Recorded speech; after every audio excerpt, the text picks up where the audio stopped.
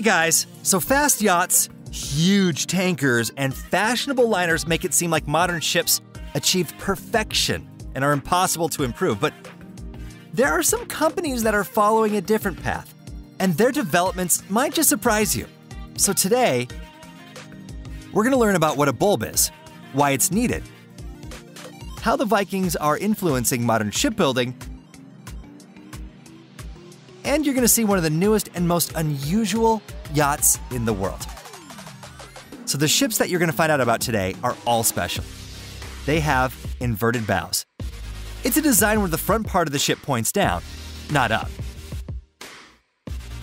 They are also called reverse bows. Now, this isn't a modern invention, it was actually used in ancient triremes because it was necessary for ramming other ships. This type of hull was actively used in sailing fleets and in the Bronze Age, but with the development of artillery and torpedoes, ramming quickly fell out of fashion.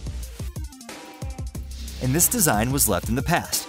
But in 2006, a strange ship appeared with a forward displaced attachment and bow section that was extremely reminiscent of an iron. The unusual design was so successful that the Norwegian company Ulstein Group today has more than 100 orders for similar ships.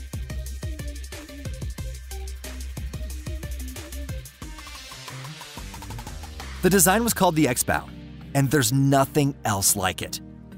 But why build such ships in the 21st century, you may ask? Well, as it turns out, this design has many benefits and over time could seriously change how we build ships. So let's break down the benefits. Ships with traditional bows break waves while creating another wave, which uses a lot of energy. Even worse, when a ship is in rough waters, it loses even more. So the bulb partially solves this problem. It's a pronounced rounded protrusion on the ship's bow that's below the waterline. If the construction is correct, the bulb makes the ship more reliable and saves about 10% of the fuel.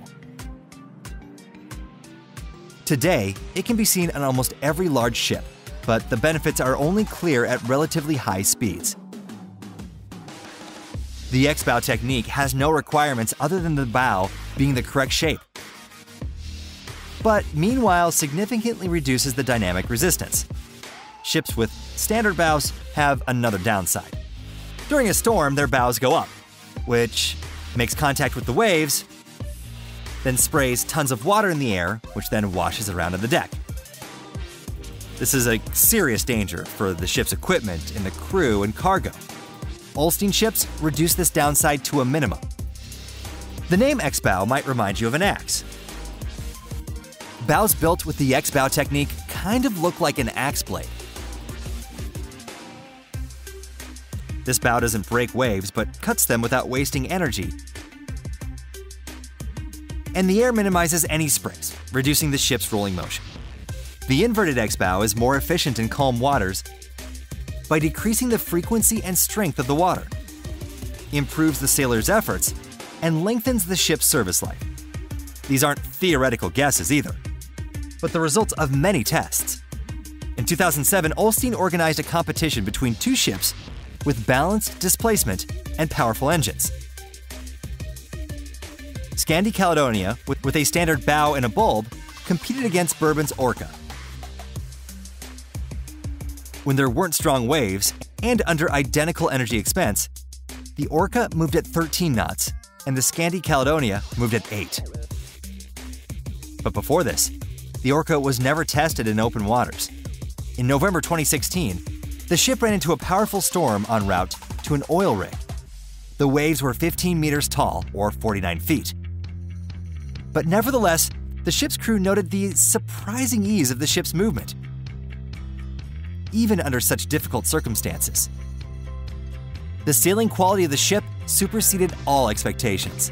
The best confirmation of the X-Bow's successful construction was that after the Orca was made, in just under 15 years, over 100 ships with similar bow designs were launched or entered construction. Additionally, they were designed for various things. The Ulstein Company insists their return to the forgotten past was motivated not by the ironclad monsters from the beginning of the century, but by the Gokstad discovery of the famous Drakkar, excavated by archaeologists in the late 19th century. The engineers paid special attention to the rounded bow. They also carefully studied other ships from that time, and according to modern evidence, the Vikings Drakkars, despite their small sizes, were excellent ships. The revolutionary hull design wasn't made immediately. The design was accompanied by extensive testing in a pool. While developing the X-bow technology, Ulstein tested their ship models with inverted bows and standard bows with the bulb. The tests show that the idea taken from ancient Scandinavian ships was more efficient. The first ship was the previously mentioned Orca. The ship caused a furor among professionals and was called the Ship of the Year at a competition in Hamburg. The model was entered into the London Museum of Science. From the beginning, similar designs were developed for coastal ships, meaning for small distances between ports of the same country. But recently it became clear that the Viking bow was good for large ships as well. 2017, an American cruise company ordered four liners with inverted bows. They plan on using them for cruises at high latitudes. In 2020, the first X-Bow super yacht set sail called the Olivia. This motor yacht is almost 89 meters long, or 292 feet. It cost almost $200 million and is one of the most captivating new ships of 2020. Like other luxury class yachts, it's equipped with a helicopter pad, a 10 meter, 33 foot pool, and a gym and a movie theater. Its interior is made in a Japanese style with many trees. The Olivia belongs to Sami Ofer, an Israeli billionaire from Monaco. Interestingly, he's the owner of one of the largest shipbuilding companies in the world and clearly knows about new technology quickly. One of the most amazing pieces of evidence for his interest in inverted bows was his launching of the high-tech super expensive American destroyer, the Zumwalt. The ship is built with stealth technology, providing it with a minimal effective area of detection, making it hard to see on the radar of enemy ships. This is where the construction quirks come from.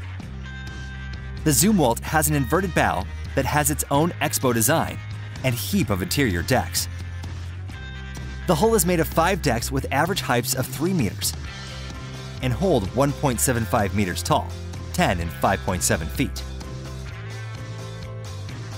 The helicopter pad is about 46 meters long, or 151 feet, and is at the aft on the second deck. It is capable of reaching speeds over 30 knots. That's how Ulstein Group was able to start a new trend in shipbuilding. The creation of the X-Bow is undoubtedly a huge event in the world of shipbuilding. It, it showed humankind that it sometimes is worth looking at the technology of the past to improve them in the future The famous Drakkars were reborn and now will cover the oceans it sees once more. Well, that's all for today, guys. Be sure to like the video, leave a comment, and we'll see you again soon.